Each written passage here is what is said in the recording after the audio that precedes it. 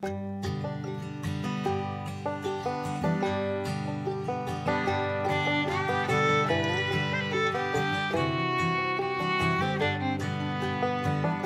이제 이번 시간에는 A New Vision of Recovery라고 하는 작은 소책자를 의 내용을 소개를 해드리겠습니다. 이 소책자는 이제 다니엘 피셔 박사가 미국의 정신과 의사죠. 정신건강의학과 의사 다니엘 피셔 박사. 아, 지금 나이를 정확히 모르겠는데 한 아마도 80대 정도 됐을 거예요. 1900 1960년대에 대학을 졸업하고 1960년대 초반인가에 대학을 졸업하고 박사학위를 따서 1960년대 중반쯤에 미국의 NIMH 그러니까 National Institute of Mental Health에서 미국 국립정신건강연구소에서 연구원으로 일을 하다가 그러다가 이제 에, 저 조현병이 발병해서 한 번 강제 입원 당하고 몇 달 입원했다가 퇴원해서 복직했는데 한 해 지나서 또 한 번 재발하고 그래 또 몇 달 이제 강제 입원 당하고 했다가 그 두 번째 입원했을 때 자기가 정신과 의사가 되어야 되겠다. 그게 1960년대 중반쯤의 일이에요. 정신과 의사가 되어야 되겠다.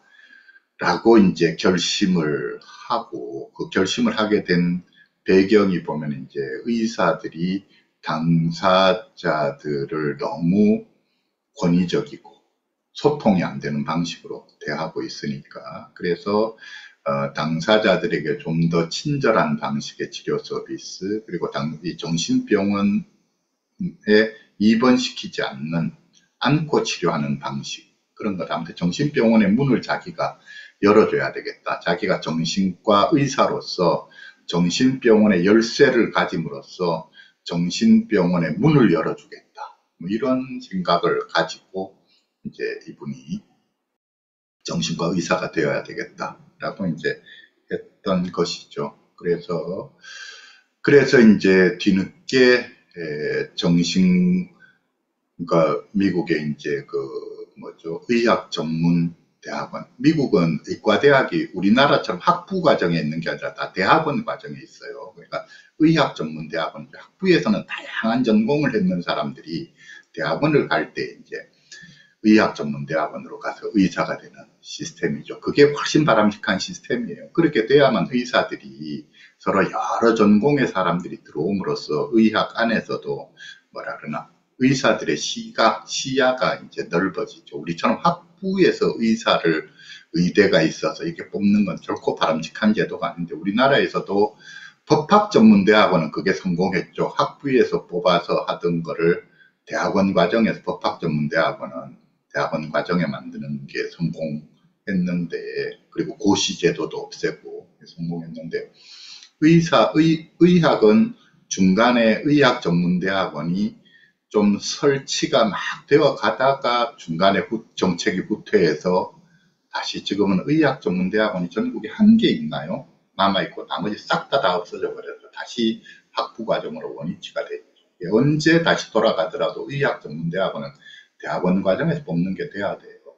아, 그래서, 그래서 미국은 대학원 과정에서 뽑는데 그래서 이 다니엘 피셔 박사가 원래 화학 박사였는데 예, 화학 박사로서 이제 NIMH에서 근무를 했죠. 그러면서 도파민을 연구해서 도현, 조현병의 도파민 가설 그거를 연구를 하는 연구원이었었죠. 그러다가 본인이 조현병이 발병했던 거죠. 그런데 이 화학 박사였는데 그 원래 나왔던 대학도 좋은 대학을 나왔어요. 아주 똑똑한 사람이에요. 근데 나중에 이과대학 갈 때는 의학 전문대학원 갈 때는 하버드 대학교로 갔나 하버드 대학교에 있는 의학 전문대학원을 갔나 그래요 아무튼 그래서 거기에서 이제 이제 의사가 되는데 나중에 전공의 과정에서 이제 인턴 마치고 레지던트 할 때 레지던트 2년 차인지 몇 년 차인지 정확히 모르겠는데 레지던트 하는 중에 또 한 번 발병을 해서 강제 입원을 당하게 되죠. 그래서 총 세 번 입원을 당했던 분이에요. 그리고 이제 의사가 되고 나서 이분은 그러니까 다른 의사들처럼 일하는 방식이 아닌 당사자들을 돕는 그러니까 일종의 당사자 운동가로서의 활동을 이제 펼치게 되는 것이고요. 그래서 나중에 이 National Empowerment Center라고 하는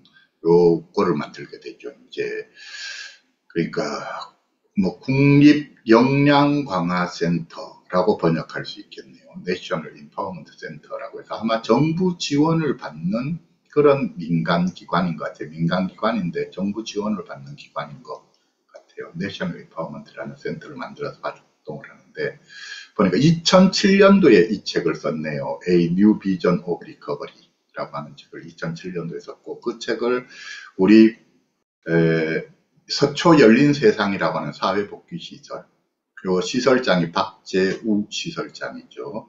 그 거기에서 이걸 번역해서 번안해서 지금 국내 보급하고 있는 거죠.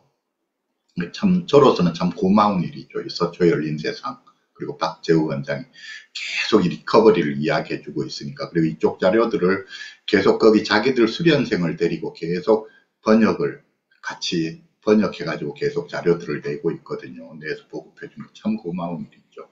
어, 저 같은 경우에는 이 recovery 철학, recovery라고 하는 걸 이제 접하게 된 게, 그러니까 recovery라고 하는 요, 우리말로는 회복이라고도 번역하고, 저는 재기라고 번역하는데, 이 recovery에 대한 내용이 미국에서 처음 등장한 게, 학술적으로 등장한 게 1990년이 기점이 된다고 보시면 돼요. 1990년에 그 앤소니, 윌리엄 앤소니라고 하는 분이 이제 이 recovery에 대해서 우리가 지금부터 연구를 해야 된다.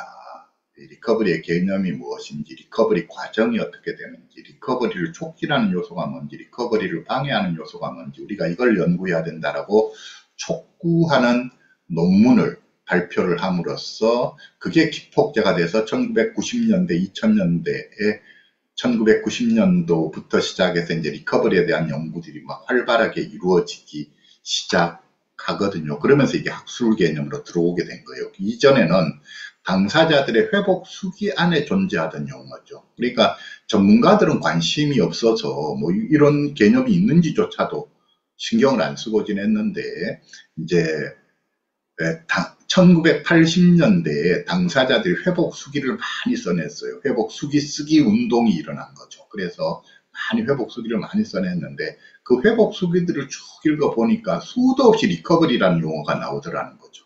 그래서 뭐 내가 recovery 하기까지 어쩌고 저쩌고 내가 recovery 하는 과정에서 어쩌고 저쩌고 나는 뭐 recovery를 하, 하기 위해서 하여튼 recovery라는 용어가 수없이 나오는 게 아마 우리 식으로 하자면 낫는다는 용어하고 비슷한 게 아닐까 싶어요. 내가 낫기 위해서, 내가 낫는 과정에서, 뭐 내가 등등과 비슷할 수도 있는데, 근데 우리의 이 낫는다는 용어하고는 또 의미가 좀 다르죠. 그래서 아무튼 이 recovery라고 하는 게 당사자들이 있게 쓰는데 전문가들은 이때까지 관심이 없었다. 그래서 이제 이 전문가들은 증상에만, 그러니까 치료 모형을 가진 전문가들은 증상 없애는 것만 계속 신경을 쓰고 있고, 그 다음에 이제 재활 모형, 을 가진 전문가들은 기능을 높이는 그의 능력과 그의 기능 그래 그의 기능을 높이는 데만 계속 관심을 가지고 했는데 리커버리라고 하는 게 뭐냐 이제 이렇게 되는 거죠. 그래서 한데 이게 1990년도에 이제 앤소니가 쓴 논문부터인데 제가 이 리커버리를 접한 건 1993년도부터 이쪽 논문을 접했죠. 제가 이제 저는 고려대학교 심리학과에서 학부를 하고 그 다음에 고려대학교 대학원 심리학과에서 석사 학위를 했는데 석사 학위를 했을 때가 제가 84년, 85년도에 석사 학위를 했어요. 그리고 86년 3월에 86, 87, 88, 86년 3월에 제가 서울대병원 정신과에 임상심리 레지던트로 서울대병원 정신과에 들어갔죠. 그래서 유급이죠.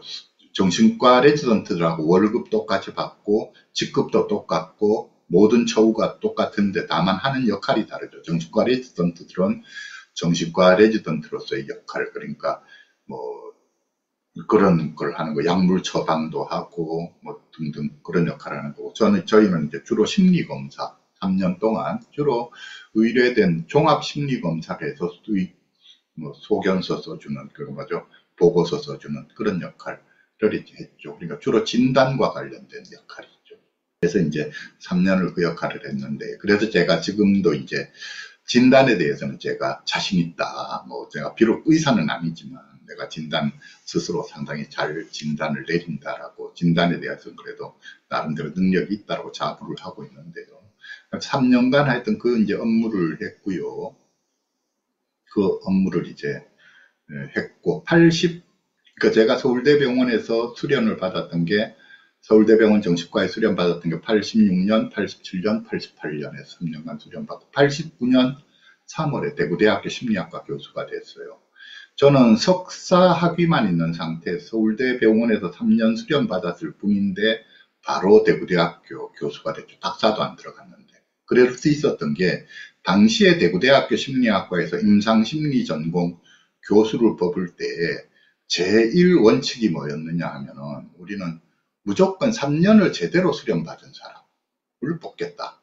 박사학위보다 그게 더 중요하다.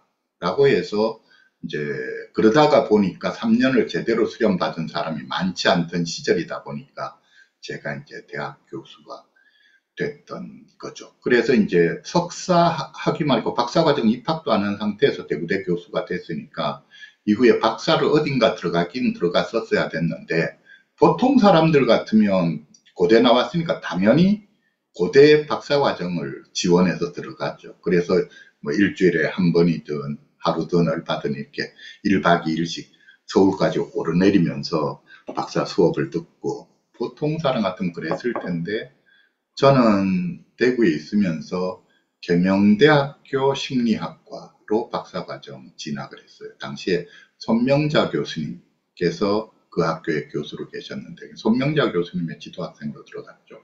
93년도에 손명자 선생님 밑으로 이제 박사과정을 들어간 거죠. 그래서 근데 92년도에 시험을 11월 달에 원서 내고 해서 12월에 합격을 했더니 바로 손명자 교수님께서 스터디하러 와라 그래서 그때부터 시작해서 일주일에 한 번씩 스터디하러 다니면서 이제 했는데 그러면서 처음 이렇게 자료들을 주시기 시작했는 게 이쪽 리커버리에 대한 자료들을 막 주시기 시작한 거예요. 읽어보라고 이쪽 논문들을. 그래서 이제 읽어보기 시작했던 거죠. 그러니까 92년 말 93년 초부터 이쪽 자료들을 읽기 시작했고 그러면서 손명자 교수님께서 제일 먼저 같이 하자고 제안하신 게 우리가 가족 교육을 해야 되겠다. 그래서 정신병원에 입원했다가 퇴원하고 나면 어, 환자들이 갈 데도 없고 뭐 할 데도 없고 등등 가족들은 도대체 이거 뭐 집에서 환자를 어떻게 돌봐야지 절절매는데 집에 이렇게 환자를 데리고 있으면서 가족들이 어떻게 해야 되는지를 이제 알려주는 그런 가족 교육을 해야 되겠다라고 해서 미국에서 당시에 유명하다는 가족 교육 교재 7권을 1차로 그냥 우리 글로 번안을 하고 그거를 토대로 이제 같이 공부를 해서 그걸 토대로 이제 그 40쪽짜리 교재를 처음 만들어서 가족 교육을 시작했는 게 1993년 9월 달부터 이제 가족 교육을 시작한 거예요. 그러면서 거기에다가 이 내용을 넣은 거예요. 리커버리 내용을. 그 가족 교육 총 음, 처음엔 13회기로 시작했다가 나중에 곧바로 8회기로 이제 교육 과정을 만들었는데 8회기 교육 안에 이 recovery 교육을 강의를 넣은 거죠. 그렇게 하면서 이제 시작을 했습니다. 1993년도부터 제가 이 recovery 이야기를 하기 시작했다 라고 하는 것이죠. 근데 그래서 그랬고 이 지금 똑같은 제목의 책이 A New Vision of Recovery라고 하는 게 지금 여기에 소개되어 있는 건 데니엘 피셔가 소개한 거지만 1993년도인가에 윌리엄 A. 앤소니가 요 똑같은 제목으로 쓴 책도 있어요. A New Vision of Recovery라고 하는 책이 또 있는데 당시에 그러니까 지금 생각해 보면 좀 아쉬운 부분이 당시에 저가 저도 그렇고 경영대학교의 손명자 교수님 지도 학생들이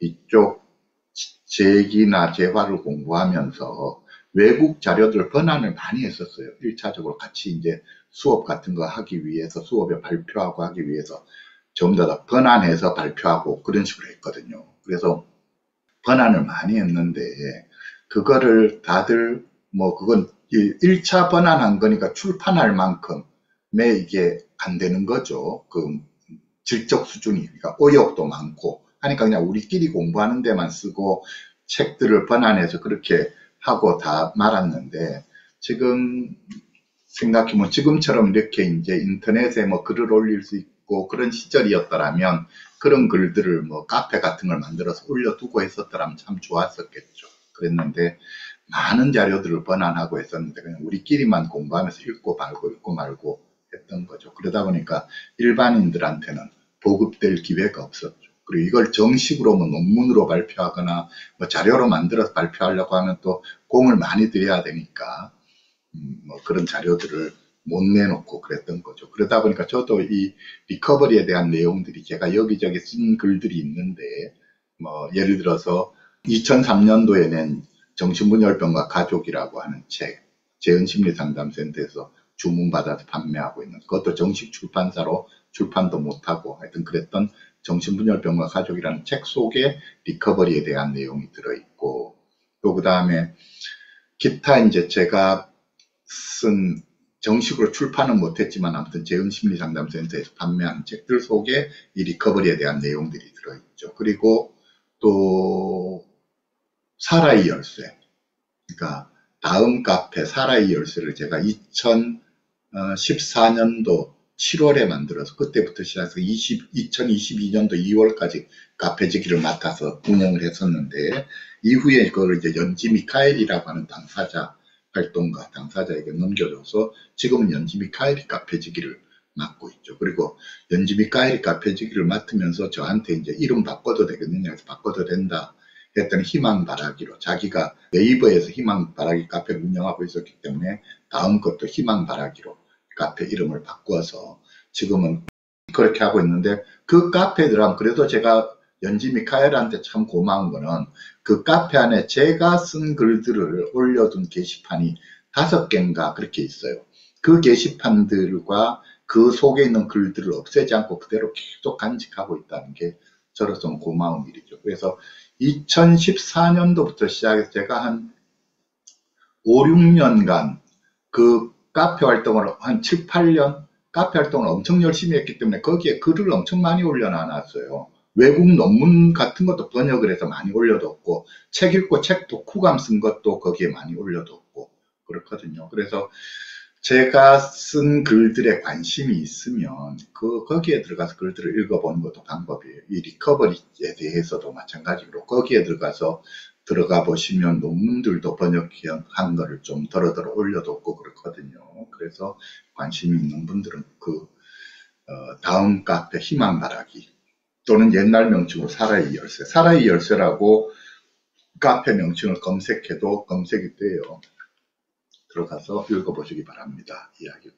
아무튼 서론이 길었습니다. 그런데 하여튼 고맙게도 이 서초 열린 세상이 여기가 정신건강 전문 요원 수련기관이에요. 그 중에서 이제 수련기관인데 직종이 정해져 있거든요. 여기는 사회 복지사들, 그러니까 정신건강사회복지사 수련기관이에요. 무슨 말이냐면 4년제 대학 또는 대학원을 나와서 이제 1급 사회복지사 자격증을 가진 사람들이 들어와서 1년간 추가적으로 교육을 받으면 정신건강 전문요원 2급이 되는 거예요.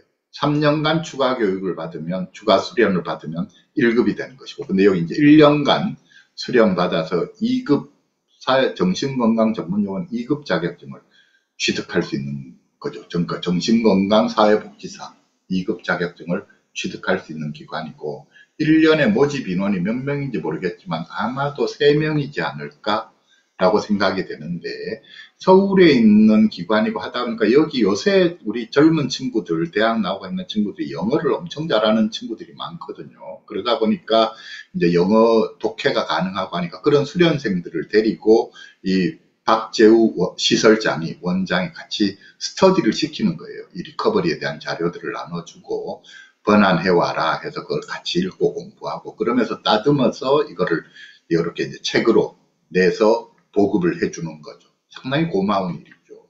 그래서 그렇게 해서 보급이 된 책입니다. 이야기고요. 자, 제가 이제 남의 책이지만 제가 이 부록에 선저 올리면서 제가 이렇게 된 거예요. 이 번역본은 서초 열린 세상에서 번역하여 보급하고 있는 다니엘 피셔 박사의 A New Vision of Recovery 번역본입니다. 이 번역본을 재편집하면서 제가 여기 재편집했다는 거예요.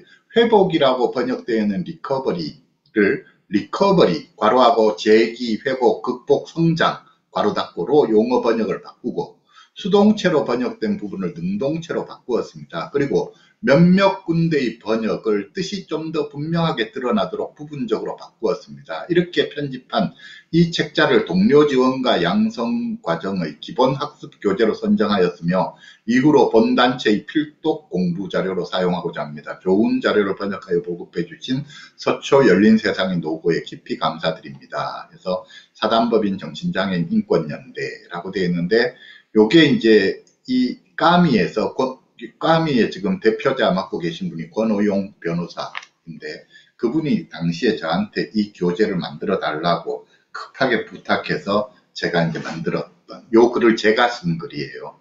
그래서 까미 이름으로 나가 있지만 그렇게 된 거죠. 그 다음에 그래서 이제 목차가 보면 서문 있고 내가 지켜온 가치들 그 다음 recovery를 위해 내가 쓴 전략들 사람들과 관계 뭐 그리고 조현병으로부터의 recovery, 그래서 격리에서 역량 강화로, 그리고 성장과 recovery를 위한 역량 강화 모델, 그리고 사람들은 무엇으로부터 recovery 하는가, 이런 식의 순서로 되어 있다는 거죠. 서문을 읽어볼게요. 이거는 쭉 읽겠습니다. 이, 그러니까 이 서문이라고 하는 것은 다니엘 피셔 박사가 이 책을 쓰면서 쓴 서문이죠. 다니엘 피셔 박사의 이야기예요. 당신은 정신질환으로부터 recovery 할 수 있다. 나는 조현병으로부터 recovery 하였다. 정신질환으로 인한 붕괴 경험 이후 지금의 내 삶은 여러 면에서 훨씬 풍성해졌고 성취감을 느끼고 있다. 나는 정신질환이라는 낙인이 내 삶을 파국으로 몰고 가지 않도록 했다. 정신질환은 당신의 삶이나 당신과 가까운 누군가의 삶이 끝났다는 것을 뜻하지 않는다. 당신이 정신질환으로부터 리커버리 할 수 있도록 당신 자신과 가족, 친구들이 도울 수 있는 단계들이 있다. 자, 여기에서 정신질환으로 인한 붕괴 경험 이후 지금의 내 삶은 여러 면에서 훨씬 풍성해졌고 성취감을 느끼고 있다. 그래서 이 하여튼 이 조현병, 조울증 이 문제들을 잘 극복을 해낸 사람들은 한결같이 이 병으로 인해서 자기는 훨씬 더 성숙되었다, 풍성해졌다. 그래서 이 병에 대해서 감사한다. 이런 표현들 하거든요. 이건 당사자도 그렇고 가족도 그래요. 그러니까 우리가 뭐, 어, 그, 하여튼, 이 질환으로 인해서 고통스러웠던 만큼 힘들었던 만큼 그 대가 그 결과가 있다 하는 거예요. 이것이 반드시 손해보고 힘든 일만은 아니다. 하나의 성장의 과정, 성숙의 과정이다. 제가 이 recovery라고 하는 용어를 recovery 해놓고 괄호하고 재기, 회복, 극복, 성장이라고 부연하는데 우리말로 이런 뜻이다 하는 거예요. 이것이 성장한다, 성숙된다. recovery라고 하는 것, 재기라고 하는 것, 우리말로 풀었으면 다시 일어선다. recovery는 다시 일어선다. 라고 하는 뜻이다. 자, 내가 이 소책자에서 정신질환이라는 용어를 사용하는 이유, 는 그것이 유용한 용어라고 느끼기 때문이 아니라 정신보건 체계에서 현재 사용하고 있기 때문이다. 내가 정신질환이라는 용어에 대해 느끼는 불편함을 표현하기 위해 따옴표를 사용한다. 그러니까 이게 좋아서 쓰는 게 아니다. psychiatric illness라고 하는 용어를 그냥 관행적으로 쓰니까 나도 쓴다. 그 이야기죠. 나의 리커버리 여정의 첫 단계는 정신질환이라는 용어는 주요한 사회적 역할, 예로서 학생이나 부모나 근로자로서의 역할을 일시적으로 수행할 수 없을 정도로 힘든 정서적 고통을 묘사하는 상징일 뿐이라는 것을 깨닫는 것이었다. 상징일 뿐이다. 이 고통을 묘사하는 상징이다. 정신질환이라고 하는 것은. 자, 몸이 아픈 것처럼 정신도 병들 수 있다는 생각은 19세기에 나타났는데 뇌를 포함한 신체를 제대로 기능하지 못하는 뇌를 포함한 신체를 제대로 기능하지 못하는 기계와 같이 본 것이다. 사람들은 뇌라는 기계가 신경전달 물질에 의해 움직여진다고 생각했다. 모든 생각과 감정이 뇌로부터 시작된다고 믿었기 때문에 생각과 감정의 혼란은 뇌의 화학적 불균형에 의해서 초래된다고 믿는 것이다. 그래서 정신질환의 생물학적 모델을 지지하는 사람들은 정신질환을 당뇨병 같은 신체질환과 같은 것이라고 주장한다.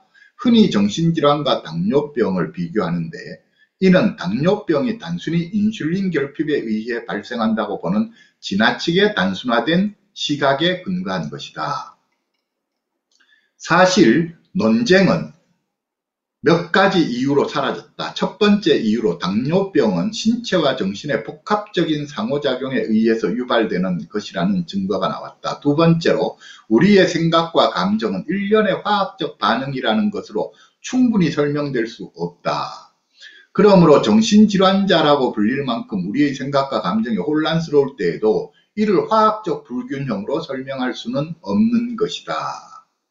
나는 나의 문제들이 어느 정도 나의 마음과 신체와 정신에 동시에 존재하는 것으로 이해한다. 따라서 리커버리를 위해서 나는 내 삶의 모든 면에서 균형과 성취가 필요하다고 본다. 그러니까 지금까지 했는 이 이야기는 뭐냐면 단지 뇌의 문제, 단지 화학 물질의 문제로 이해하지 마라 그 이야기죠. 내 삶의 모든 면에서 균형과 성취가 필요하다고 본다. 모든 면에서. 단지 화학적인 면에서 신경 전달 물질 면에서가 아니고 나의 내 삶의 모든 면에서 균형과 성취가 필요하다고 본다는 것이죠. 자, 나는 화학을 통해 더 나은 삶으로 라는 슬로건이 한창인 나는 화학을 통해 더 나은 삶으로 해놓고 역주 해놨네. 1번 역주를 잠깐 읽어보자면 미국의 다국적 화학회사인 듀퐁의 슬로건이었음. 그러니까 이 제약회사의 슬로건이었던 모양이에요. 제약회사, 화학회사의 슬로건.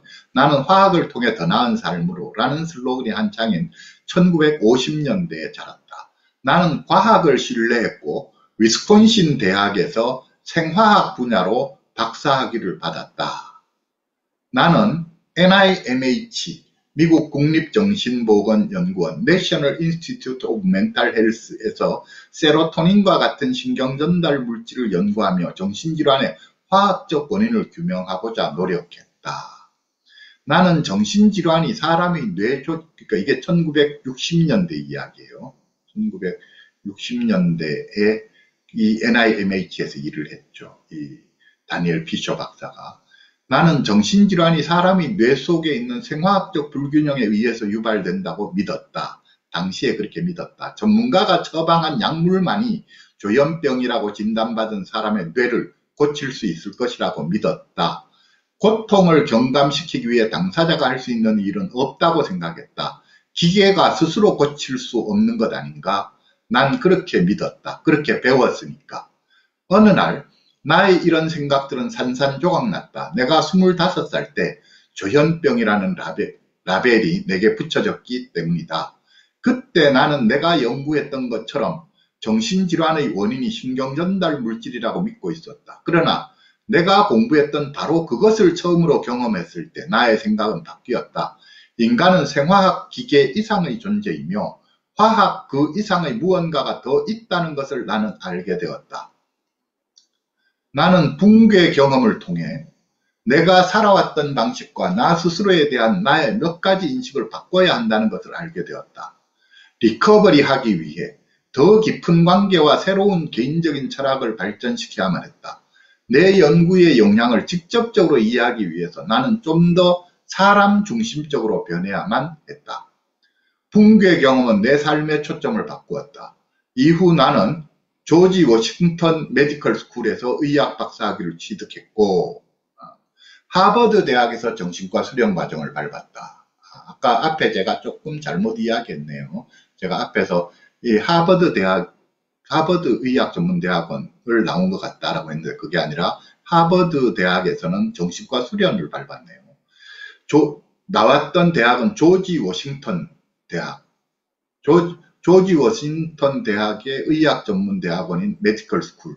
조지 워싱턴 Medical School에서 의학 박사, 의학 박사학위를 취득했고 이 말이 무슨 말이냐면 그러니까 이 사람들은 의학 전문 대학원이기 때문에 에, 좀더 다 과정을 다 마치고 나면 그야말로 닥터인 거죠. 우리가 닥터가 박사라는 소리잖아요. 그러니까 모든 과정을 다 마치고 나면은 박사 학위가 나오는 거죠. 우리는 이게 의과대학이기 때문에 다 마치고 나도 박사 학위는 안 나오죠. 의과대학이니까. 그래서 아무튼 그런 이야기인데 이후 나는 조지 워싱턴 Medical School에서 의학 박사 학위를 취득했고 그러니까 이게 의학 전문대학원 4년제 과정이죠. 박사 하버드 대학에서 정신과 수련 과정을 밟았다. 나는 20년 이상 정신과 의사로 일하면서 정신보건 소비자 생존자 운동, mental health consumer survivor movement에 참여하고 있다. 그러한 운동과 의식의 발전과 확산을 위해 1992년에 NEC 전국 역량 강화 센터 National Empowerment Center가 출범한 것을 도왔으며 자, 이러한 생각들이 전문가, 소비자, 생존자, 일반 대중에게 확산될 수 있도록 노력해왔다. 나는 종종 어떻게 정신질환에서 recovery 하였나요? 라는 질문을 받는다. 나는 이 소책자에서 나의 recovery의 가장 중요한 요소들을 설명할 것이다.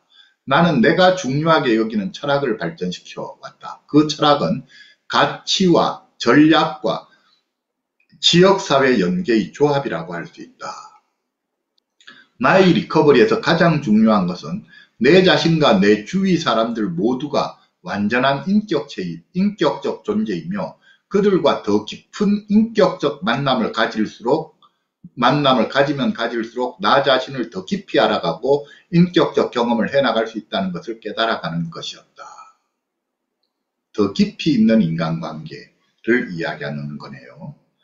나의 리커버리 과정에 너무나 중요한 요소들이 당신과 당신 주위의 사람들에게 노력해야 할 방향을 알려줄 수는 있지만 당신의 삶이 나의 삶과 다르듯이 당신의 recovery 여정은 당신만의 모습일 것이다. 내가 너무 힘들 때에 나는 행복한 삶을 만드는 방법에 관한 실행 매뉴얼이 있으면 좋겠다는 생각을 했다. 이전에 내게 찾아온 클라이언트가 말했듯이 정신건강에 대한 권위 있는 의사가 쓴 가이드북이라도 읽었더라면 좋았을 텐데 다행히도 나는 그런 일이 영원히 계속될 것이라고 믿지 않는다. 인간이 가지는 고유한 인격성은 너무나 다양하고 고유한 특성을 가지므로 모두에게 맞는 한 사이즈의 옷은 없다. 대신 우리는 자신과 타인의 삶을 통해 배우고 경험하며 자신이 지켜야 할 신념과 가치와 규칙을 만들어 가야 한다고 믿는다. 그 스스로 만들어 가야 한다. 당신의 여정에 행운이 가득하기를. 절대 포기하지 말라. 당신 역시 정신질환으로부터 리커버리 할 수 있다. 서문을 이렇게 썼고요. 뒤에 내용은 간략간략하게 제목 중심, 소제목 중심으로 살펴볼게요. 내가 지켜온 가치들에서 1. 나는 유일하고 고유한 인격체이다. 2. 나는, 나, 나는 삶에 대해 yes라고 말할 수 있다. 3. 나는 나의 삶에 대하여 결정할 수 있다. 자기 결정권 이야기죠. 나는 나의 삶에 대해 결정할 수 있다. 4. 나는 나 자신의 recovery를 이끌 수 있다. 5. 나는 의미 있는 관계와 일을 가질 수 있다. 6. 나는 내가 속한 지역사회 안에서 중요한 차이를 만들 수 있다. 7. 나는 모든 살아있는 존재들과 연결될 수 있다. 8. 나는 나의 감정과 생각을 표현할 수 있다. 9. 나는 사랑할 수 있고 사랑받을 수 있다. 10. 나는 계속 나아갈 용기를 가지고 있다. 11. 나는 나 스스로를 믿는다. 12. 나는 부정적인 신념들을 극복할 수 있다. 그러니까 이게 중요한 원칙들이다 하는 거예요. 자, 약만 먹는 것 갖고는 안 된다. 약 먹는 것만 가지고는 안 된다. 이러한 가치들을 내가 내 마음에 품고 이러한 가치들을 지키려고 노력해야 된다. 라고 하는 거예요. 그래서 자기는 이렇게 12가지의 가치를 마음에 품고 이것을 지키려고 노력하며 살았다. 그 이야기예요. 그 다음에 이제 리커버리를 위해 내가 사용한 전략들에서 자, 첫 문장만 읽어볼게요. 첫 문단만. 리커버리는 총체적 인간을 구성하는 정신, 신체, 영의 균형과 조화를 통해 이루어진다고 나는 믿는다. 뇌와 신체의 화학적 균형은 이러한 요소들이 이루는 균형의 결과이다. 균형은 각 사람의 자기 발견과 스스로를 돌보고 관리해 나가는 방법을 배우는 것을 통해서만 성취될 수 있다.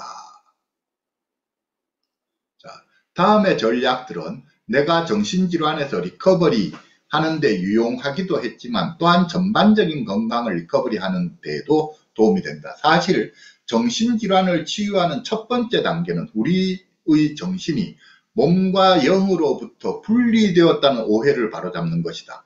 나는 우리가 이 모든 면에 동시에 존재하는 것이며 질병을 일으키는 가장 큰 원인은 다른 것들을 희생시키면서 한 가지 영역을 지나치게 강조하기 때문이라고 믿는다. 다음의 전략들은 나와 친구들, 클라이언트들이 발견한 리커버리의 유익한 접근 사례이다.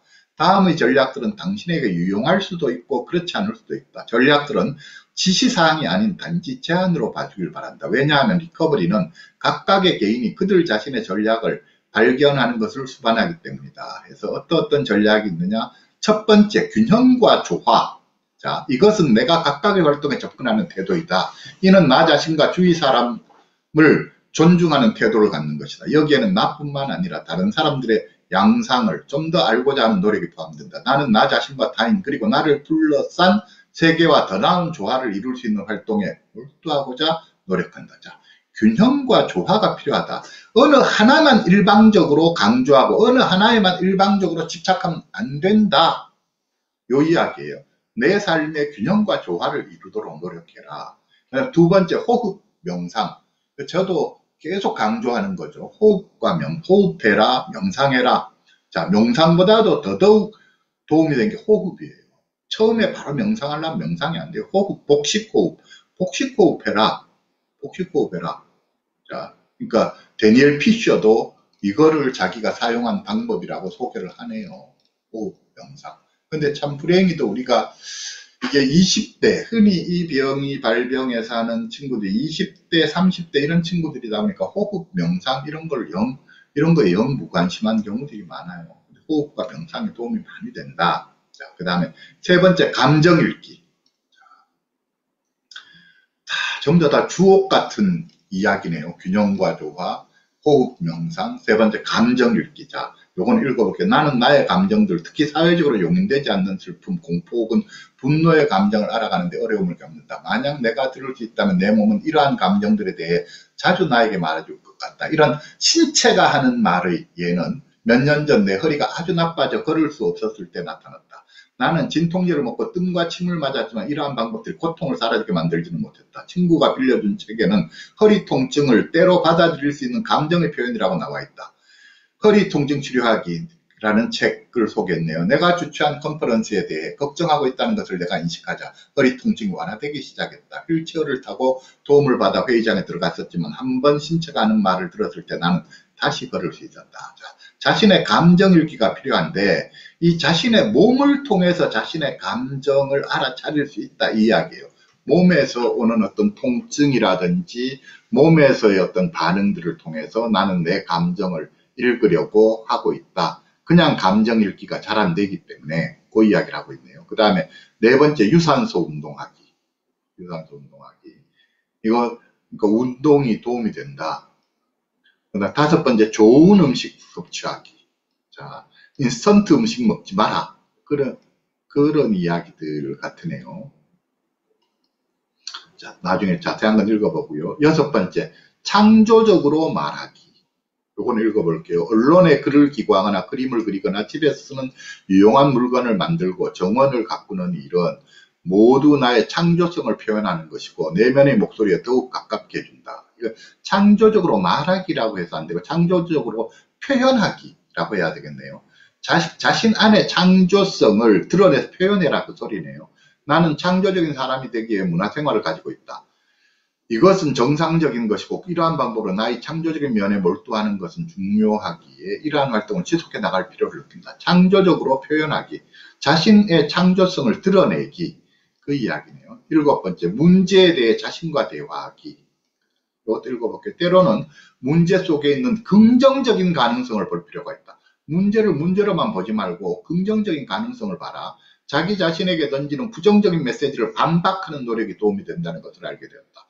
위에서 언급한 많은 화건들은 내 안에 부정적인 어둠과 싸우는 과정에서 나온 것들이다. 어느 날 나는 자신에게 너무 실망하고 화가 났다. 온몸에 땀이 흐르고 내 심장은 쿵쾅거렸다. 나는 한 걸음 뒤로 물러나서 나 자신을 받아들였으며 넌 괜찮아 라고 자신에게 반복해 말해줬다. 자기 자신에게 괜찮아 라고 말해줄 수 있어야지 된다. 나의 심정은 진정되고 땀이 멈췄다. 만약 우리의 마음을 두려움과 의심으로부터 해방시킬 수 있다면 리커버리는 최고의 협력자임을 알게 되었다. 그 여덟 번째 신념 키우기. 신념 키우기. 우리는 각자 살아가면서 지키려고 노력하는 규범을 가지고 있다. 어떤 사람은 종교를 통해 그러한 목적을 달성할 수 있다. 다른 사람들에게는 강력한 개인적 의미를 지닌 가치를 발견하는 것이 중요하며 또한 그러한 가치를 공유하는 그룹의 일원이 되는 것이 중요하다. 나에게는 소비자 생존자 운동에 소속되어 있는 사람들과 그 가치들이 소중한 규범이다. 그래서 자신만의 어떤 신념을 키워나가는 것, 지켜나가는 것, 되게 중요하다. 그러니까 종교, 종교가 삶의 중심, 마음의 중심에 딱 자리 잡아도 되고, 뭐 저는 이걸 마음의 중심자리라고 표현하는 것 같아요. 제 표현으로는 이게 마음의 중심자리. 그러니까 자기 마음의 중심에 뭔가 가치로운 어떤 것이 있어야 된다. 자, 그 다음에 아홉 번째, 꿈꾸고 꿈을 쫓아가기. 자, 나는 주기적으로 나의 꿈을 종이에서 보고 그 꿈들을 쫓아가기 위해 노력한다. 목표는 이러한 꿈에서부터 나온다. 꿈이 없는 목표는 공허한 것이다. 몇 년 전 나는 공포의 지하 감옥으로부터 풀려나는 꿈을 꾸었다. 꿈속에서 한 대령이 나에게 그가 보여준 단지의 괴물처럼 나의 뇌가 변했기 때문에 내가 감옥을 떠날 수 없다고 말했다. 그러나 나는 recovery 하였음을 발견했으며 나는 대령과 그의 거짓 증언을 뒤로 한 채 햇빛이 비추는, 비추는 바깥으로 나왔다. 나는 꿈에서 그리고 일상생활에 점차적으로 희망의 메시지를 받아들일 수 있으며 recovery 할 수 있었다. 그러니까 이제 그래서 제가 그 이야기를 하죠. 꿈꿀 수 있는 자유가 필요하다. 꿈꿀 수 있는 자유를 줘라. 어, 꿈꾸고 꿈을 쫓아가기. 결국 recovery가 뭐냐? 자신이 꿈꾸는 최선의 삶을 사는 게 리커버리다. 자신이 꿈꾸는 최고의 삶을 사는 게 리커버리다. 그러니까 꿈을 꿔야 된다. 하는 거죠. 열 번째, 일정 및 활동을 관리하기. 일정 시간 및 활동을 관리하기. 자, 하, 나는 우선순위를 정하는 법을 배우고 있다. 때때로 스트레스를 받을 때 나는 업무 처리 목록을 만들고 나 자신에게 내가 해야 할 일 중 무엇이 가장 중요한가를 묻는다. 꿈과 믿음은 내가 우선순위를 정할 수 있는 틀을 제공해 준다. 내가 어떤 큰 결정을 두고 어떻게 해야 할지 모를 때 나 자신에게 어떤 방향이 나의 가장 깊은 꿈과 가치를 더 발전시킬 수 있는가라고 묻는다. NEC, National Empowerment Center. 괄호 전국 역량 강화 센터를 출범시키는데 함께하기로 한 나의 결정은 남은 인생 동안 지역사회 정신과 의사로 일하며 보다 편안하고 안전한 행로에 머물러 있는 것보다 나의 신념에 기초해서 새로운 진로를 계획한 것에 좋은 사례가 된다. 그 이전에 의사, 의사로서의 자격증을 따고 한 20년 동안은 의사로서 일하다가 그 다음에 NEC가 출범할 때 여기에 참여하면서부터 이제 당사자 활동가로 변신한 거죠. 데니엘 피셔가. 그 다음에 열한 번째 유머 속에서 살기. 노만 커진스가 유머는 치유를 위한 필수적인 요소라고 한 말에 동의한다. 나는 인간을 웃는 존재라고 부르곤 한다. 나는 특히 의사와 관련된 농담을 좋아한다. 유머는 사람을 사람들을 평등하게 만드는 강력한 힘을 가지고 있기 때문에 그런 농담들은 의사라는 직업에 겸손함을 갖게 해주고 리커버리 한 환자에게는 힘을 부여한다. 유머 속에 살기. 그 다음에 열두 번째 음악 듣기. 열세 번째 숙면 취하기. 자, 요런 것들. 제가 강조하는 것들하고도 거의 같죠. 자, 보셔요. 본인이 사용한 전략들. 하루하루의 생활에서 이거, 이런 삶을 살기 위해 노력해야 된다는 거예요. 첫 번째 균형과 조화. 한 가지에 집착하지 않는다. 조화로운 삶. 균형과 조화, 두 번째 호흡 명상, 세 번째 감정 읽기, 네 번째 유산소 운동, 다섯 번째 좋은 음식 섭취하기, 여섯 번째 창조적으로 말하기. 창조적으로 이건 표현하기라고 고쳐야 될 것 같아요. 창조적으로 표현하기. 일곱 번째, 문제에 대해 자신과 대화하기. 여덟 번째, 신념 키우기. 아홉 번째, 꿈꾸고 꿈을 쫓아가기. 열 번째, 일정 및 활동을 관리하기. 열한 번째, 유머 속에서 살기. 열두 번째, 음악 듣기. 열세 번째, 숙면 취하기. 이런 활동들이 도움이 된다. 그 다음에 사람들과 관계 맺기의 중요성을 이야기하죠. 그거는 제목만 읽어볼게요. 첫째, 우정을 쌓고 공동체에 참여하기. 두 번째, 정서적 수준에서 관계 맺기. 세 번째, 당신의 어려움을 나눌 수 있는 사람 또는 친구 부르기.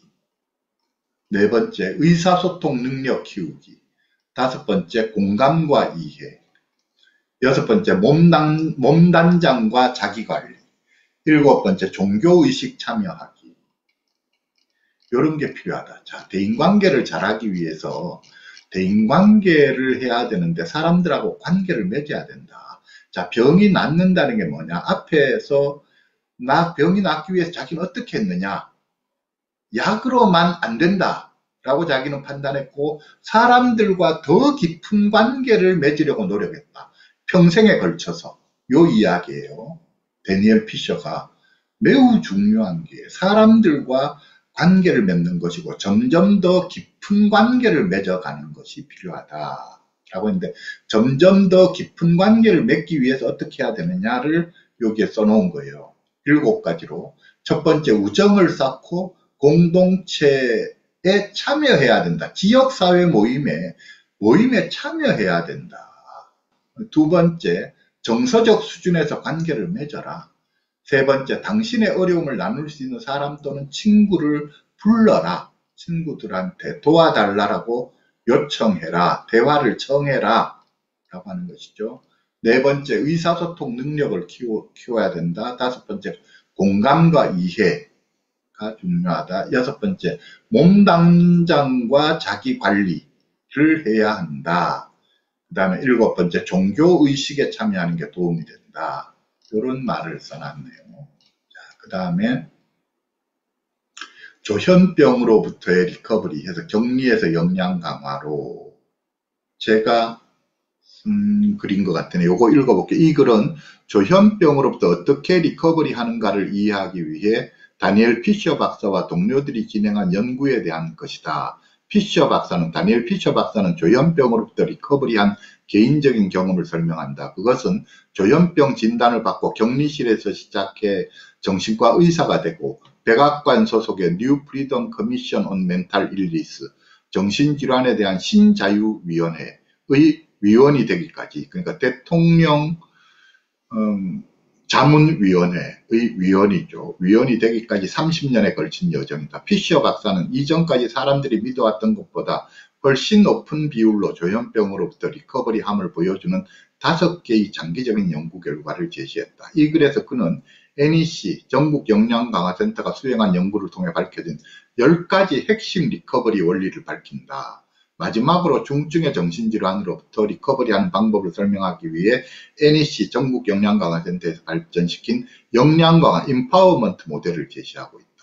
라고 하는데 자 이제 그래서 요 말이 뭐냐면 쭉 다니엘 피셔 박사의 사, 발병부터 시작해서 쭉 30년간에 걸친 지금은 이제 훨씬 더 됐겠죠. 발병이 1960년대 중반이었으니까 75년, 85년, 95년, 2005년, 2015년, 2025년, 60년 지났네요.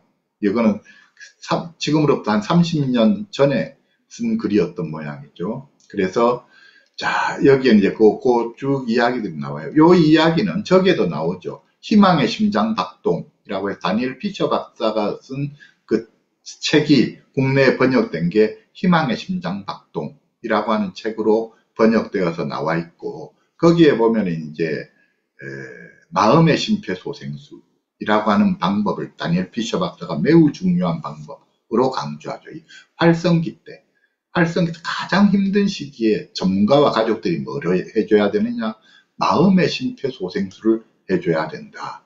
그 이야기를 하죠.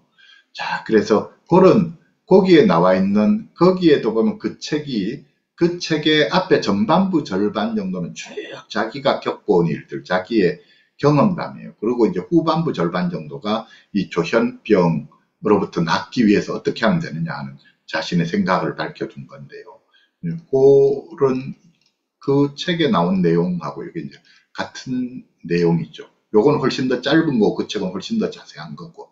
자, 그래서 뭐냐면 지금 강제로 2번 당했는데 자, 요, 요 부분만 읽어볼게요.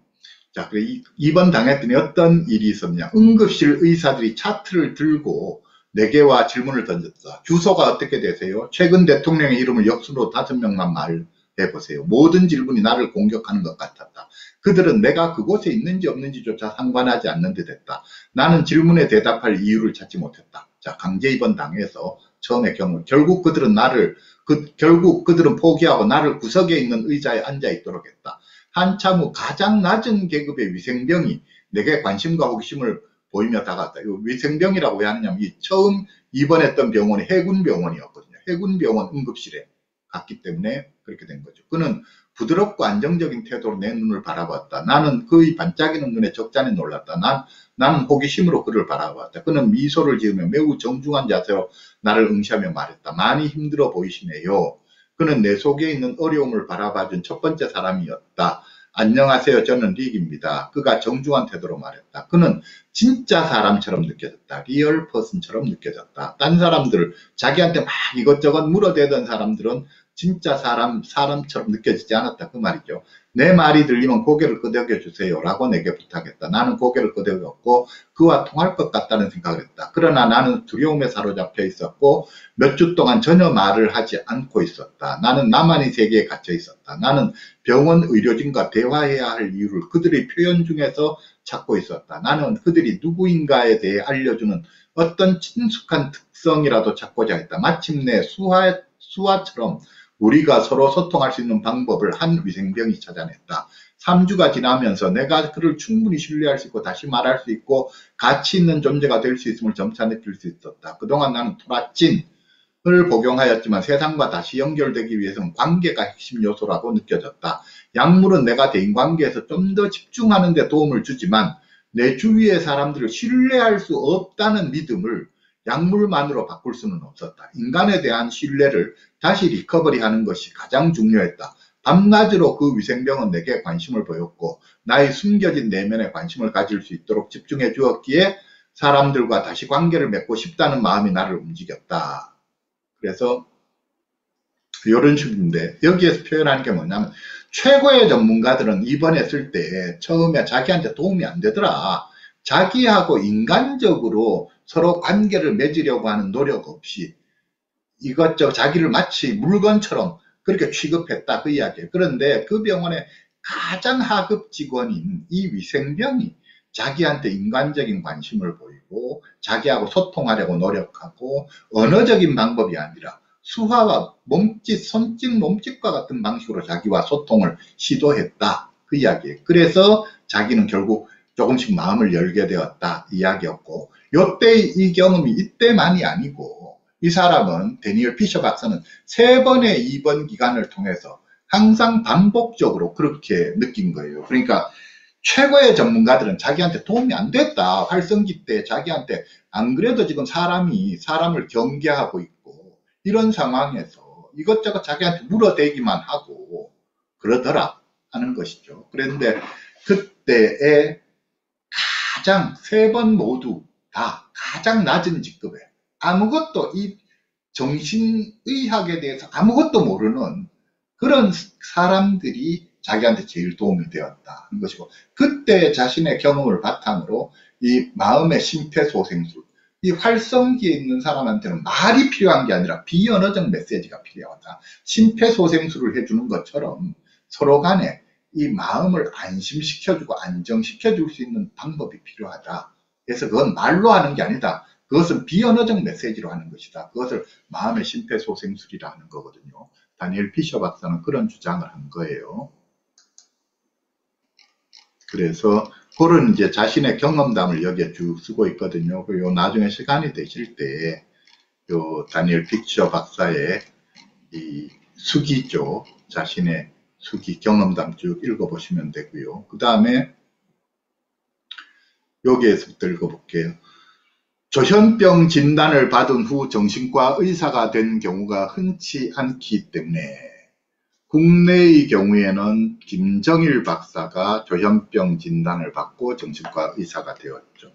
김정일 박사 사이코 드라마로 유명한 김정일 박사는 김정일 박사는 고대의대 77학번이에요. 저는 고대 심리학과 77학번이고 물론 제가 뭐 저는 지금까지 김정일 박사를 한 번도 만난 적이 없어요. 그냥 이름만 듣고 있는 거지. 근데 이 김정일 박사가 어, 레이디 경향 1996년도 레이디 경향에 6월호인가 몇 월호인가 제가 정확히 기억이 안 나는데 거기에서 어, 인터뷰한 그 기사를 읽어보니까 자기가 의과대학 다닐 때 본과 다닐 때인가 의과대학 다닐 때에 에, 갑자기 망상 뭐 피해망상, 과대망상 막 이런 게 생기고 해가지고 어, 다락방에 아주 뭐 그런 게 막 있고 해가지고 어, 병원에 강제로 입원을 당했다가 몇 달 입원했다가 퇴원하고 나서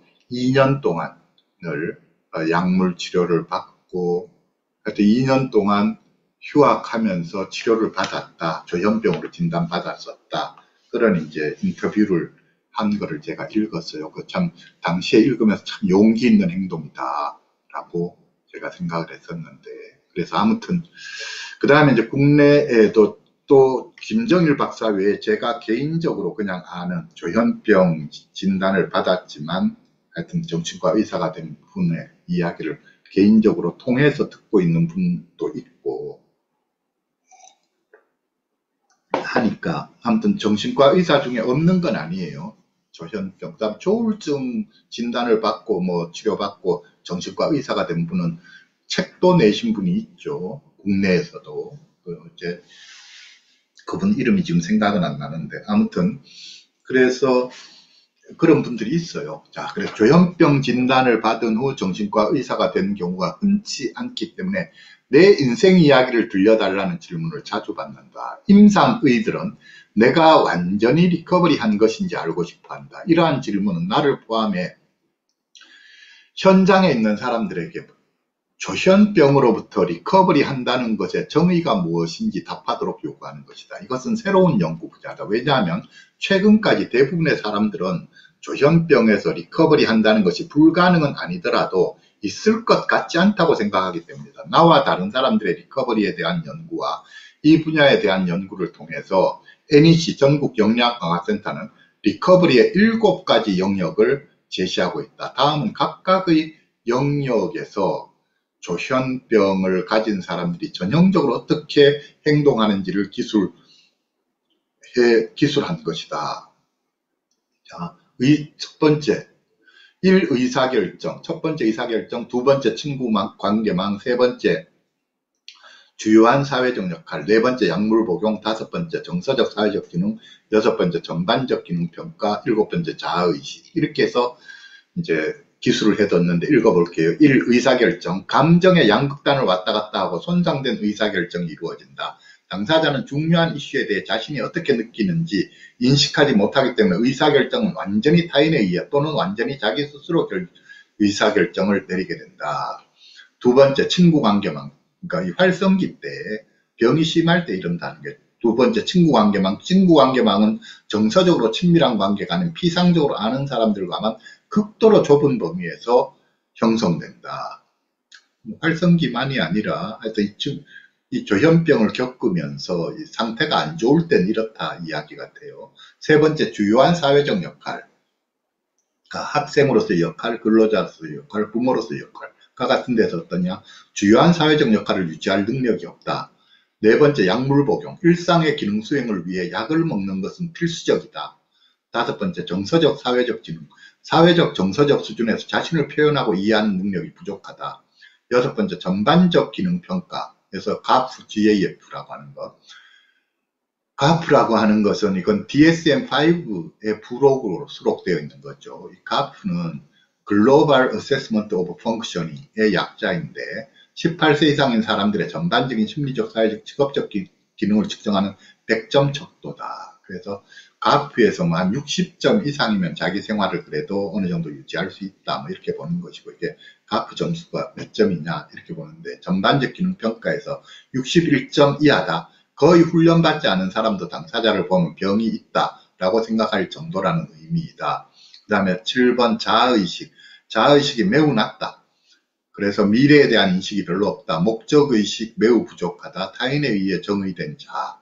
자기결정과 자신감 결여 등 해서 자 그런데 그 다음에 표 1에 보면 조현병을 가진 사람과 recovery한 사람을 비교하는 데니얼 피셔 박사가 자, 이 일곱 가지 영역에서 조현병을 지닌 사람과 recovery한 사람을 이 데니얼 피셔 박사가 비교한 거예요. 의사결정 부분에서 주요한 조현병을 지닌 사람은 주요한 의사결정에 전문가의 의견을 필요로 한다. 그러니까 의존적이다. 조현병으로부터 리커버리한 사람은 스스로 의사결정을 할 능력이 있다. 자기 결정을 할 수 있는 능력이 있다. 그 다음에 주요한 사회적 지지에서는 주요한 사회적 지지가 뭐냐 에서는 정신보건 시스템이 주요한 사회적 지지다. 그러니까 병원에 다니고 사회복지시설에 다니고 등등 이런 것들. 그 다음에 리커버리한 사람은 그 조현병을 지닌 사람은 주요한 사회적 지지원이 정신보건 시스템이 주요한 사회적 지지다. 조현병으로부터 리커버리한 사람은 친구관계망이 주요한 지지를 제공한다. 그 다음에 사회적인 역할과 정체성 면에서는 조현병을 지닌 사람은 자 소비자로서의 정체성을 지닌다. 또는 조현병 환자로서의 정체성을 지닌다. 정신질환자로서의 정체성을 지닌다. 환자다. 정신질환자다. 정신장애인이다. 또는 소비자다. 이렇게 된다는 것이죠. 조현병으로부터 리커버리한 사람은 어떤 역할과 정체성을 지니냐? 자신은 근로자다. 그러니까 직장인이다. 또는 뭐 부모다. 학생이다. 또는 다른 어떤 역할을 가진 사람이다. 나는 미술가다. 음악가다. 등등. 이런 것이 본인의 역할 정체성이다. 그 다음 정신과 약물의 역할에 대해서는 조현병을 지닌 사람은 정신과 약물을 필수적인 것으로 생각한다. 조현병으로부터 리커버리한 사람은 개인이 선택할 수 있는 여러 도구 중 여러 방법 중에 하나라고 생각한다. 정신과 약물을. 그 다음에 정서적 지능 부분에서는 조현병을 지닌 사람은 강한 정서는 전문가에 의해 치료받아야 하는 증상이고 이 수준에서 의사소통을 배우지 않는다. 자, 조현병으로부터 리커버리한 사람은 사람은 스스로의 감정을 통해 또는 친구들과 함께 하는 것을 통해 자신을 표현하고 이, 일한다. 말한 이 수준에서 의사소통을 배운다. 그러니까 정서적으로 정서적 지능이 좀 떨어지는데 서로 공감하고 소통하는 능력이 떨어지는데 이것을 조현병을 지닌 사람들한테서는 이것을 치료받아야 되는 증상이라고. 증상으로 어, 증상으로 이제 간주된다라고 하는 것이고 의사소통을 따로 배우지 않는다 이 수준에서. 정확하게 요 의미 파악을 못해서 제가 지금 헤매고 있어요. 너무 짧게 요약이 돼 있으니까. 그런데 아무튼 리커버리 한 사람은 친구들과의 관계를 통해서 자신을 표현하고 또 친구들과의 관계를 통해서 의사소통하는 방법을 배운다. 그렇게 되어 있네요. 그 다음에 전반적 기능평가에서는 60점 이하, 조현병을 지닌 사람은 60점 이하, 즉 훈련받지 않은 사람도 당사자를 환자로 인식한다. 조현병으로부터 리커버리한 사람은 61점 이상, 즉 훈련받지 않은 사람은 리커버리한 사람을 환자라고 보지 않는다. 보통 사람 같은데 라고 느낀다. 그러니까 가프 점수가 더 높다. 그 이야기네요. 60점 이하였던 기준이다. 위에서 61점 이하라고 표현됐던 게 조금 오타였나 보네요. 60점 이하 가프에서 61점 이상 이렇게 나누네요. 그 다음에 자아의식에서는 자아의식이 조현병이 있는 사람은 조현병을 지닌 사람은 자아의식이 약한 존재 자아의식이 권위자에 의해서 정의된다. 자아의식, 자아정체감이 미래에 대한 인식이 부족하다. 내면에 대한 인식이 부족하다. 그것에 비해서 조현병으로부터 리커버리한 사람은 자아의식이 강하다. 자기 정체감이 강하다. 그 소리예요. 동료 관계에서 자신을 정의한다. 동료들과의 관계 속에서 자신을 정의한다. 미래에 대한 인식, 목표 의식 이런 게 분명하다. 라고 이렇게 되어 있네요. 그래서 아무튼 어, 이 데니엘 피셔 박사는 이 조현병을 지닌 사람과 조현병으로부터 리커버리한 사람을 이렇게 일곱 가지 차원에서 구분을 했네요. 그 다음에 조현병으로부터 리커버리 하는 사람들을 보여주는 장기간 연구에서 자, 장기 지속 연구, 우리나라에서 이런 장기 연구가 거의 안 나오죠. 근데 미국에서 자, 208명의 환자를, 208명의 조현병을 지닌 사람 208명을 대상으로 해서 23년간 장기 연구를 해서 1900, 저 다 연구 오래전에 발표된 1974년에 발표된 논문, 79년에 발표된 논문, 88년, 79년, 87년. 그러니까 지금 그렇게 시스템이 좋지 않던 시절 1950년대, 60년대를 쭉 거치면서 50년대, 60년대를 거치면서의 결과인데도 보면은 208명을 대상으로 23명을 연구해서 1974년에 발표한 논문에서는 recovery 하였거나 의미 있는 진전이 있다는 비율이 68%, 허버 등은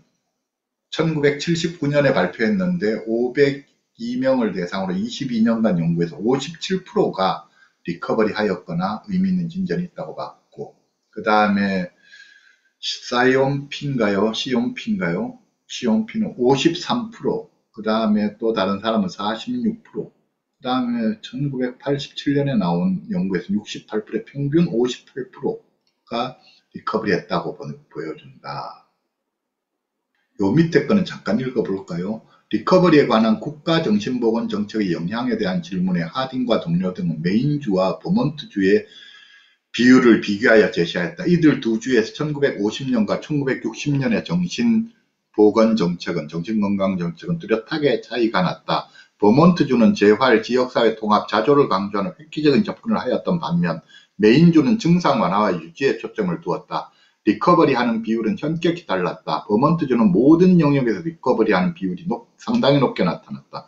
연구자들은 이 두 주의 연구 사례를 주의 깊게 비교하였다. 그들은 버먼트주에서 훨씬 더 높은 recovery 비율이 나타나는 것은 희망과 재활에 대한 강조, 상태의 심각도에 관계없이 각 사람은 지역사회 내에서 온전히 독립적인 생활을 할 수 있다는 믿음을 강조하는 사회정책의 결과라고 결론 지었다. 라고 해서 그래서 주의 전략이 어떻게 되느냐, 정책이 어떻게 되느냐가 대단히 영향을 많이 미친다 하는 것이고 그 다음에 내가 그랬던 것처럼 정신질환을 가진 이들이 조현병으로부터 recovery 한다는 것을 사람들이 받아들이고 나면 그들은 우리가 어떻게 그렇게 할 수 있었는지 묻는다.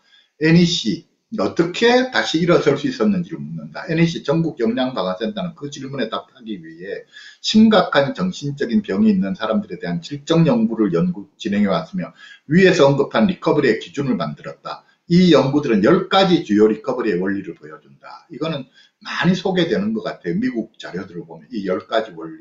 자, 첫 번째, 자기 자신과 타인들을 신뢰하라. 10가지 원리. 구체적인 건 읽어보시죠. 두 번째, 자기 결정의 가치를 소중히 여기라. 세 번째, 당신이 리커버리 할 거라고 믿고 희망을 가져라. 네 번째, 사람들과 그들이 가진 풍부한 잠재력을 믿어라. 다섯 번째, 깊은 정서적 수준으로 사람들과 관계 맺어라. 여섯 번째, 사람들은 언제나 의미를 만든다는 것을 인정하라. 일곱 번째, 자신의 목소리를 내라. 자, 이 부분을 읽어볼게요. 자신의 목소리를 내지 않고 자아인식이 부족할 때 사람들은 심각한 정서적 고통을 훨씬 더 많이 경험할 수 있다. 연구에서 한 여성은 자신과 관련된 일에 대해 상사에게 강하게 말했을 때 편집증이 사라졌다고 말했다. 사람들은 자신의, 자신이 타인의 음성보다 강하다고 느낄 때 타인의 음성을 듣는 것에 대처하는 법을 배울 수 있고 그들이 사회적 환경 안에서 더 큰 목소리를 낼 수 있으며 보다 기꺼이 자신이 말하고자 하는 것에 대해 타인과 토론할 능력을 가지게 된다. 자신의 목소리를 내라. 자기 주장을 해라. 하는 소리예요. 여덟 번째, 모든 감정과 생각을 인정하라. 자, 이 다시 돌아 자신의 자신의 목소리, 자기 주장을 해라는 소리가 뭐냐? 침묵하지 마라. 목소리 주장해라, 표현해라는 소리고, 그 다음에 우리가 자기 주장을 하라, 자기 목소리를 하면 잘못하면 막 소리 지르고 화내고 이런 거를 생각하는데, 그거는 자기 목소리를, 그거는 엉뚱한 방법이에요. 침묵하는 것. 그 다음에 화내고 소리 지르는 거, 이거는 자기 표현을 하는 방법이 아니에요. 이런 방법으로는 결과를 얻지를 못해요. 그러니까 자기가 원하는 바를 차분한 음성으로 따박 따박 따박 말하는 게 자신의 목소리를 내는 거예요. 자신의 목소리를 내라. 그 다음에 여덟 번째, 모든 감정과 생각을 인정하라. 인정하라. 이것도 읽어볼게요. 내가 가장 힘든 시간을 보낼 때, 보낼 동안에 나는 이러한 방식으로 나와 함께한 소중한 친구와 놀라운 하루를 보냈다. 그냥 나를 판단하지 않고 그저 나와 함께 있어 주었다. 내가 말도 안 되는 고통 속에 있을 때에도 나는 자신에게 좋은 친구였으면 나와 함께 있는 것이 중요하다고 느꼈다고 나중에 그녀는 내게 말했다. 그녀는 나를 신뢰했었고 지금까지 변함이 없다. 모든 생각과 감정을 인정해라. 있는 그대로 내버려두고 받아줄 줄 알아야 된다. 그 이야기고. 아홉 번째, 의미 있는 꿈을 따르라. 이것도 읽어볼게요. 잦은 입원을 경험했던 한 여성은 다른 사람을 돕겠다는 꿈을 갖고 행동한 것이 자신의 인생이 달라지게 만들었다고 이야기했다. 그녀는 아침 일찍 일어나는 이유가 있음을 느끼고 있으며 인생의 목적을 가지게 되었다. 그녀는 주거시설 상담가가 되었고 몇 년 동안 입원하지 않았다. 앤소니 박사는 자신의 꿈을 여기 앤소니 박사가 윌리엄 A. 앤소니 미국 정신재활의 큰 하여튼 리버만 박사와 함께 양대 거두라고 불렸던 분이죠. 윌리엄 앤소니 박사는 자신의 꿈을 반영하는 목표 설정이 정신 재활의 핵심 가치라고 반영합니다. 자신의 꿈을 반영하는 목표 설정이 중요하다. 근데 이 자신의 꿈을 반영하는 목표 설정이 돼야 된다. 라고 강조했다는 것이죠. 그래서 의미 있는 꿈을 따르라. 열 번째, 존엄한 존재로 존중받아야 한다. 그래서 이 열 가지 원리를 제시했다는 거예요. 이게 리커버리 하는 방법이다. 이게 1. 자기 자신과 타인들을 신뢰하라. 2. 자기 결정의 가치를 소중히 여기라. 3. 당신이 recovery 할 거라고 믿고 희망을 가져라. 4. 사람들과 그들이 가진 풍부한 잠재력을 믿어라. 5. 깊은 정서적 수준으로 사람들과 관계 맺어라. 6. 사람들은 언제나 의미를 만든다는 것을 인정하라. 1. 7. 7. 자신의 목소리를 내라. 8. 모든 감정과 생각을 인정하라. 9. 의미 있는 꿈을 따르라. 10. 존엄한 존재로 존중받아야 한다. 이 10가지가 recovery의 원리다. 라고 하는 것이고, 그 다음에 이제 성장과 recovery를 위한 역량 강화 모델이다. 라고 해서 사회로부터의 완전한 배제로부터 사회로부터의 참여로 그리고 어, 지역사회 통합을 통한 자율성 획득으로 나아가는 이 방법에 대한 이 모델을 하나 제시했네요. 역량 강화 모델이라고 해서 empowerment 모델을 제안을 했고 그러면서 그거에 대해서 나선형 발달이다라고 해서 그거에 대해 이 모델을 이제 쭉 소개를 했거든요. 적응과 조정의 순환, 그 다음에 recovery와 자립생활의 순환, 정신질환과 장애라는 낙인, recovery와 자립생활.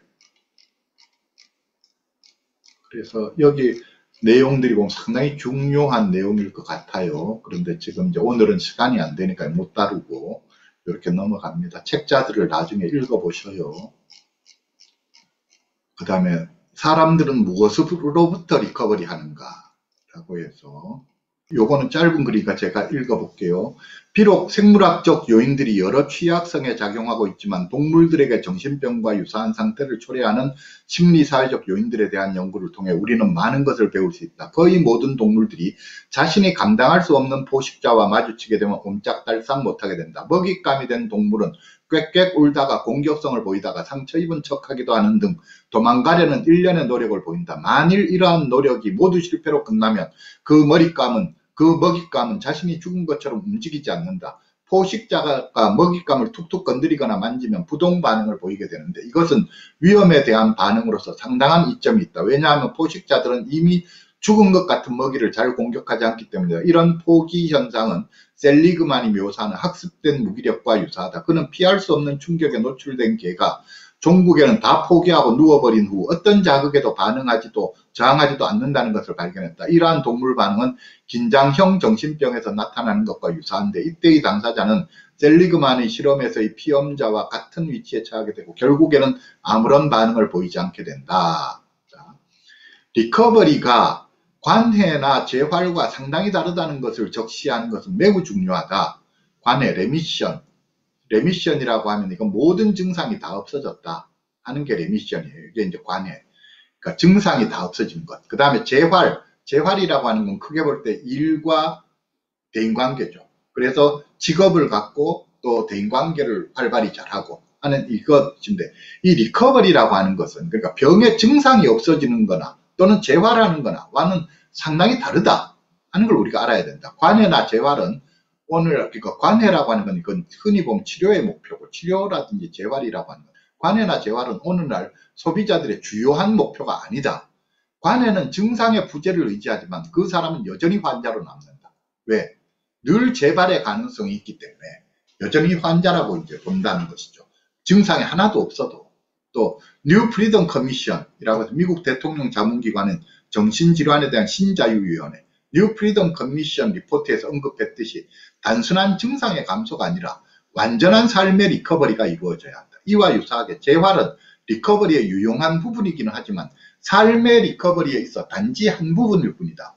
재활은 당사자가 환자로 살아가지만 사회 속에서 기능하는 것을 배울 수 있다는 것을 의미한다. 그러나 완전한 recovery와 삶으로의 전환은 가능하다. NEC와 다른 조직들은 New Freedom Commission 그러니까 신자유위원회, 대통령, 미국 대통령 자문기관인 정신질환에 대한 신자유위원회인 New Freedom Commission을 통해 정신보건 체계가 recovery 기반 체계로 변화할 것을 제안하고 노력을 기울이고 있다. 목표를 향해 NEC, 그러니까 전국 역량강화센터는 정신보건 문화가 입원 중심의 사고에서 recovery 중심의 사고로 변화하도록 돕기 위해 PACE라는 교육 프로그램을 발전시켜 나가고 있다.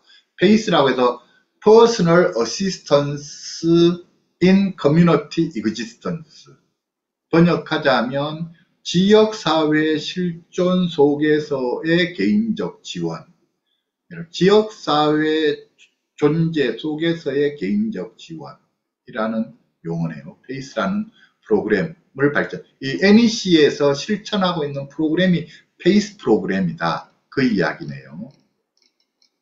그래서 이제 맨 끝입니다. 그래서 이제 데니얼 피셔 인터뷰 동영상들이 유튜브에 있어요. 그래서 그거 어, 찾아서 보십사. 그리고 자, 정신보건 시스템 변화가 필요하다. 지금의 시스템은 희망보다는 낙담을 제공한다. 이건 데니얼 피셔도 하는 이야기인 거죠. 그래서 시스템 변화에는 입원할 필요가 없다. 그러니까 2번 중심의 이 시스템, 이 사고방식을 우리는 지역사회 중심, 그리고 치료 중심의 사고방식을 recovery 중심의 사고방식으로 바꿔야 될 필요가 있다. 그 이야기죠. 그래서 원본 A New Vision of Recovery라고 하는 책은 데니엘 피셔 박사가 쓴 책이고 2007년도에 나왔다. 서초 열린 세상에서 어, 번역을 했고 제가 이 내용을 조금 수정해서 여기에 수록했습니다. 이야기 그래서 이렇게 해서 지금 오늘 강의는 이제 마치려고 합니다. 그래서 오늘 지금 방금 시간에 강의했던 내용은 그러니까 이거죠. 요, 요 책. 그러니까 지금 제가 낸 동료 지원 전문가 교육 교재의 맨 뒤에 부록으로 실어둔 A New Vision of Recovery라고 하는 데니엘 피셔 박사가 쓴 책. 하여튼 한 4, 50페이지쯤 되는 얇은 분량의 소책자인데 이 소책자를 서초 열린 세상에서 번역을 해서 번안을 해서 이제 출판 어, 번안해서 보급하고 있는 걸 제가 요 책에 좀 부록으로 이제 실어둔 실어둔 거 그걸 방금 시간에 제가 강의를 강의가 방금 시간에 쭉 읽으면서 보충 설명을 해드렸습니다. 자 채팅창에 올라와 있는 글들을 읽고 이제 마무리를 하겠습니다. 급성기나 활성기 증상 대처엔 2번을 최우선으로 하고 전문가들의 약물치료 위주로 돌아가는 우리 눈앞에서 늘상 벌어지고 있는 뻔한 사회 현실을 바라보면서 언제 가서야 동료 전문가에 대하여 법적 자격을 부여할 수 있을지요. 답답한 마음에 기대조차 할 수 없는 너무 멀고 요원한 희망사항일 뿐이 아닐까라는 생각만 듭니다. 지금 조금씩 시도되고 있습니다. 먼 것 같지만 우리들 곁으로 다가오고 있습니다. 글을 올려주셨네요. 네, 감사합니다. 그럼 이제 이렇게 해서 줌 교육, 줌 수업, 줌 수업 1기 강의는 마무리하겠습니다. 작년 9월부터 시작해서 2023년 9월에 시작해서 2024년 8월까지 해서 1년간 교육을 했네요. 이제 다음 주부터는 다음 주 토요일부터는 이제 다시 줌 수업 2기 교육이 새로 시작이 됩니다. 그래서 9월 달, 다음 달 교육에도 많이들 등록을 해 주시고 해 주시면 감사하겠습니다. 자, 그럼 오늘 교육은 마치겠습니다. 수고하셨습니다. 네, 수고하셨습니다. 예, 수고하셨습니다. 네, 수고하셨습니다. 감사합니다. 감사합니다. 감사합니다.